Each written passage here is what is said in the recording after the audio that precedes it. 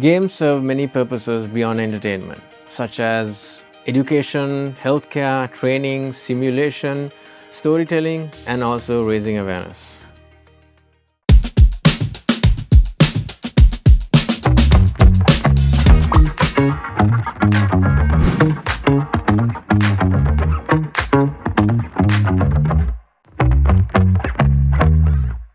My name is Renusha Athugala. I'm the program manager for games design program at RMIT Vietnam. My research focuses on interactivity, specifically exploring ways to integrate arts and science. I believe this interactivity is the foundation of games. At RMIT, I have had a great opportunity to continue my practice-based research and also to collaborate with other academics.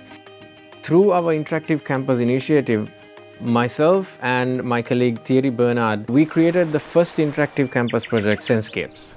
Senscapes is a sound installation where nature sounds are triggered by human motion and movement.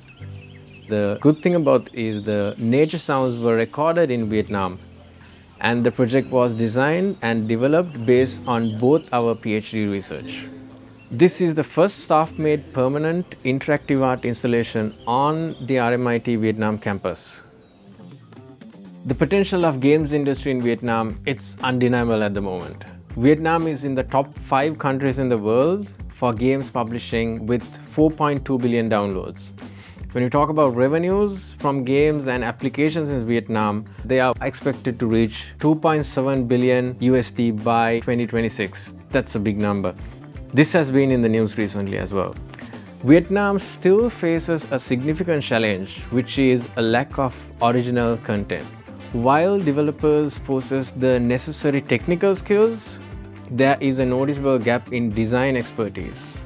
I believe this deficit is due to insufficient support from academia. So this is why we are here. We started our bachelor's degree in games design at RMIT Vietnam to address this issue. So we aim to provide the education and training necessary to develop both technical and design skills for the Vietnamese games industry. What I like about games is their uniqueness and the great potential it brings. So many people still think that games are only for entertainment. That is not true. In fact, games and interactive media art represent a blend of art and science. This opens up to amazing possibilities for modern problem solving. We emphasize the importance of developing students' soft skills and team working abilities to ensure that they are well-rounded and prepared for diverse challenges in the industry. My philosophy in life is that you must do what you love.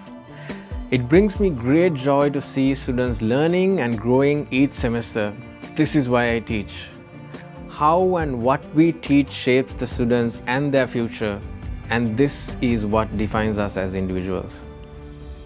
As a designer, I need the freedom to be creative, and I'm happy to say that I get that at RMIT here. The interactive installation that we completed along with the upcoming one shows this support.